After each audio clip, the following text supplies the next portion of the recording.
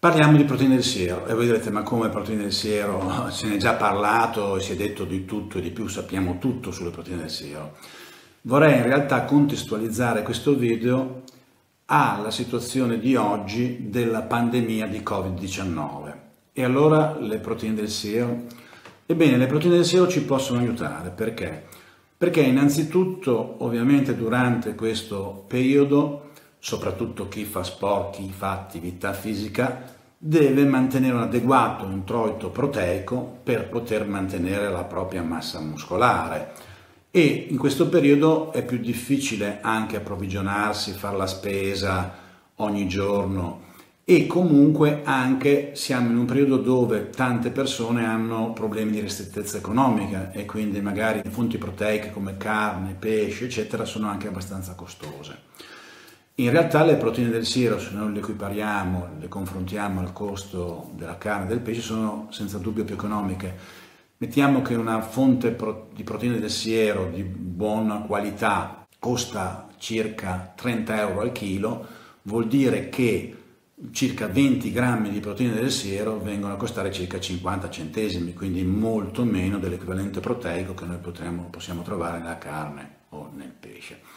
Ma non è solo un problema economico, è un problema anche di qualità e tipologia delle, di proteine. Le proteine del siero hanno un valore biologico elevatissimo, maggiore di quello della carne del pesce. E inoltre le proteine del siero hanno anche un effetto di potenziamento del sistema immunitario, perché hanno delle frazioni peptidiche che aiutano il sistema immunitario. In maniera specifica, per esempio, la presenza della lattoferrina, che è appunto una frazione peptidica che è in grado di contrastare i batteri e i virus.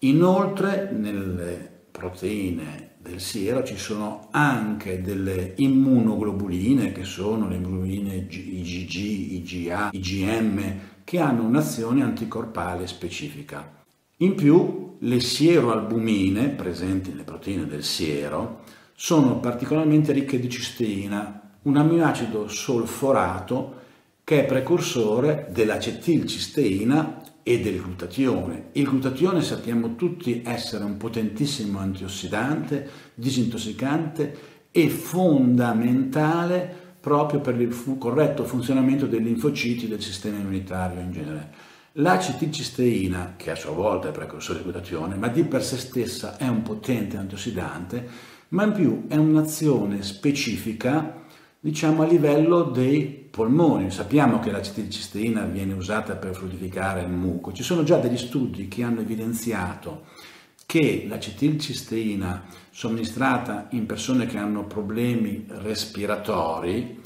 ne migliora le capacità respiratorie e quindi nel caso di Covid-19 ovviamente noi sappiamo che uno dei primi problemi sono proprio diciamo quelli di tipo respiratorio. Le proteine del siero hanno anche un effetto di modulazione dell'appetito. Per esempio, se consumate prima di un pasto normale, sia nell'ottica di uh, assumere il quantitativo necessario di proteine per pasto, magari diminuendo quelle della carne e del pesce che costano di più, e assumendo quelle delle proteine del siero, se assunte prima del pasto diminuiscono l'appetito e quindi diminuiscono l'assunzione di calorie in genere, cosa che oggi, quando siamo costretti all'isolamento, è una cosa positiva perché in linea generale c'è più rischio di mangiare di più anche solo per la noia, solo, anche solo per il nervosismo, lo stress, la depressione, ma in più le proteine del siero hanno anche l'effetto, e ci sono stati fatti degli studi che hanno iniziato ciò, di diminuire il grasso viscerale. E il grasso viscerale è un grasso che non è un grasso inerte, è un grasso quello che è dentro nell'addome, è un grasso che produce citochine infiammatorie e l'infiammazione ha un effetto dettamente negativo nel nostro organismo e probabilmente anche nella prognosi di Covid-19, perché abbiamo visto che di fatto si stanno sperimentando farmaci proprio che blocchino l'infiammazione, in maniera specifica l'interleuchina 6, che è appunto una citochina infiammatoria che è prodotta anche quando c'è un eccesso di grasso viscerale.